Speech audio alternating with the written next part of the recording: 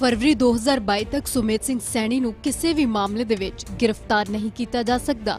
ਇਹ ਰਾਹਤ ਸਾਬਕਾ ਡੀਜੀਪੀ ਨੂੰ ਪੰਜਾਬ ਹਰਿਆਣਾ ਹਾਈ ਕੋਰਟ ਤੋਂ ਮਿਲੀ ਹੈ ਅਤੇ ਪੰਜਾਬ ਸਰਕਾਰ ਨੂੰ ਵੱਡਾ ਝਟਕਾ ਲੱਗਿਆ ਹੈ।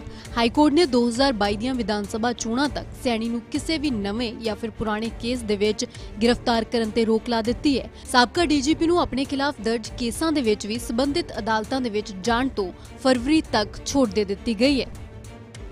ਦਰਅਸਲ ਸੁਮੇਧ ਸਿੰਘ ਸੈਣੀ ਵੱਲੋਂ ਇੱਕ petition Punjab and Haryana high court ਦੇ ਵਿੱਚ ਪਾਈ ਗਈ ਸੀਗੀ, ਜਿਸ ਦੇ ਵਿੱਚ ਉਹਨਾਂ ਨੇ ਪਲੀ ਕੀਤਾ ਸੀ ਕਿ ਉਹਨਾਂ ਦੇ ਖਿਲਾਫ ਜਿੰਨੇ ਮਾਮਲੇ ਦਰਜ ਨੇ, ਉਹ ਜਾਂ ਤਾਂ ਸੀਬੀਆਈ ਨੂੰ ਹੈਂਡਓਵਰ ਕਰ ਦਿੱਤੇ ਜਾਣ ਜਾਂ ਪੰਜਾਬ ਤੋਂ ਬਾਹਰ ਕਿਸੇ ਇੰਡੀਪੈਂਡੈਂਟ ਏਜੰਸੀ ਵੱਲੋਂ ਉਹਨਾਂ ਦੀ ਜਿਹੜੀ ਹੈ, ਉਹ ਇਨਕੁਆਇਰੀ ਇਨਵੈਸਟੀਗੇਸ਼ਨ ਕਰਾਈ ਜਾਏ।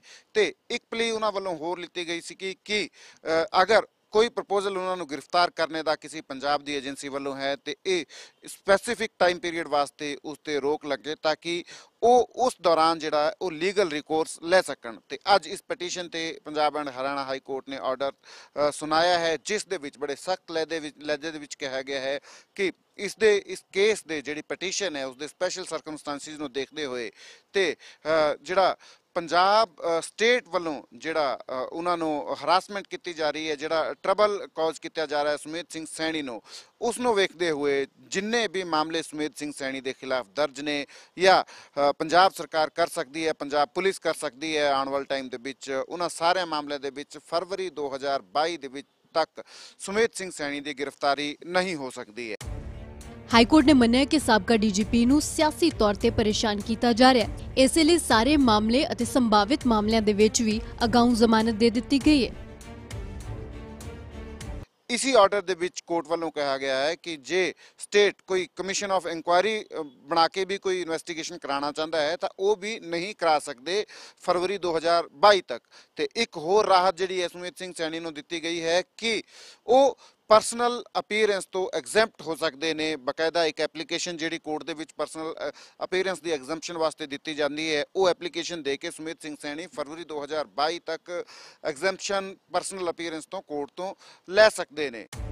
ਬੀਤੇ ਮਹੀਨੇ ਯਾਨੀ ਕਿ ਅਗਸਤ ਦੇ ਵਿੱਚ ਵੀ ਸੁਮੇਤ ਸਿੰਘ ਸੈਣੀ ਨੂੰ ਗ੍ਰਿਫਤਾਰ ਕਰਨ ਬਾਅਦ ਪੰਜਾਬ ਵਿਜੀਲੈਂਸ ਬਿਊਰੋ ਨੂੰ ਹਾਈ ਕੋਰਟ ਦੇ ਵਿੱਚ ਮੂੰਹ ਦੀ ਖਾਣੀ ਪਈ ਸੀ। ਹਾਈ ਕੋਰਟ ਦੇ ਹੁਕਮਾਂ ਬਾਅਦ ਸੁਮੇਧ ਸਿੰਘ ਸੈਣੀ ਨੂੰ ਰਿਲੀਜ਼ ਕਰ ਦਿੱਤਾ ਗਿਆ ਸੀ। ਪੰਜਾਬ ਦੇ ਸਾਬਕਾ ਡੀਜੀਪੀ ਸੁਮੇਧ ਸਿੰਘ ਸੈਣੀ ਨੂੰ ਵਿਜੀਲੈਂਸ ਬਿਊਰੋ ਪੰਜਾਬ ਨੇ 18 ਅਗਸਤ ਨੂੰ ਦੇਰ ਸ਼ਾਮ ਗ੍ਰਿਫਤਾਰ ਕੀਤਾ ਸੀ। ਵਿਜੀਲੈਂਸ ਨੇ ਕਾਫੀ ਦਿਨ ਪਹਿਲਾਂ ਸੁਮੇਤ ਸੈਣੀ ਖਿਲਾਫ ਸਰੋਤਾਂ ਤੋਂ ਵੱਧ ਜਾਇਦਾਦ ਬਣਾਏ ਜਾਣ ਦਾ ਮਾਮਲਾ ਦਰਜ ਕੀਤਾ ਸੀ। ਸੁਮੇਤ ਸਿੰਘ ਸੈਣੀ ਉਹੀ ਪੁਲਿਸ ਅਫਸਰ ਨੇ ਜਿਨ੍ਹਾਂ ਨੇ ਮੁੱਖ ਮੰਤਰੀ ਕੈਪਟਨ ਅਮਰਿੰਦਰ ਸਿੰਘ, ਉਹਨਾਂ ਦੇ ਬੇਟੇ ਤੇ ਕਰੀਬੀਆਂ ਦੇ ਖਿਲਾਫ ਭ੍ਰਸ਼ਟਾਚਾਰ ਦੇ ਕੇਸ ਦਰਜ ਕੀਤੇ ਸਨ। 2007 ਦੇ ਵਿੱਚ ਅਮਰਿੰਦਰ ਸਿੰਘ ਦੀ ਸੱਤਾ ਜਾਣ ਦੇ ਬਾਅਦ ਪ੍ਰਕਾਸ਼ ਸਿੰਘ ਬਾਦਲ ਨੇ ਮੁੱਖ ਮੰਤਰੀ ਬਣਦੇ ਹੀ ਸੁਮੇਧ ਸਿੰਘ ਸੈਣੀ ਨੂੰ ਵਿਜੀਲੈਂਸ ਮਹਿਕਮੇ ਦਾ ਚੀਫ ਡਾਇਰੈਕਟਰ ਨਿਯੁਕਤ ਕੀਤਾ ਸੀ ਅਤੇ ਉਸ ਤੋਂ ਬਾਅਦ ਡੀਜੀਪੀ ਵੀ ਲਾਇਆ ਗਿਆ ਸੀ। 2015 ਦੇ ਵਿੱਚ ਬੈਬਲ ਕਲਾ ਤੇ ਕੋਟਕਪੂਰਾ ਗੋਲੀकांड ਦੌਰਾਨ ਡੀਜੀਪੀ ਸਮੇਤ ਸੈਣੀ ਸਵਾਲਾਂ 'ਚ ਰਹੇ ਸਨ। ਪੁਰਾਣੀ ਅਤੇ ਨਵੀਂ ਐਸਆਈਟੀ ਸਮੇਤ ਸਿੰਘ ਸੈਣੀ ਤੋਂ ਪੁੱਛਗਿੱਛ ਵੀ ਕਰ ਚੁੱਕੀ ਹੈ।